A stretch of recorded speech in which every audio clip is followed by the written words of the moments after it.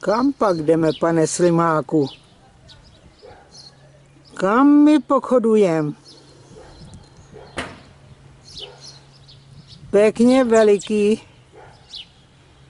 Našla jsem tady na zahradě.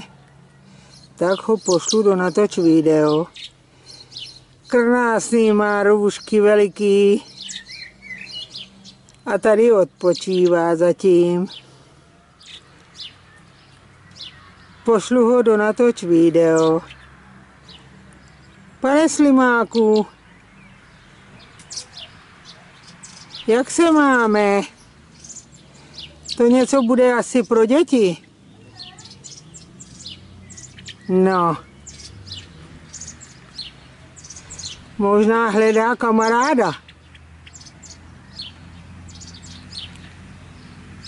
Asi jo. Ale tady nikde není. Takže bude muset být sám.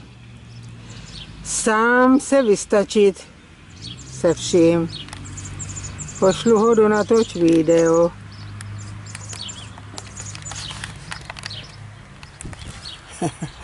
ano, asi někoho hledá, nějakého kamaráda.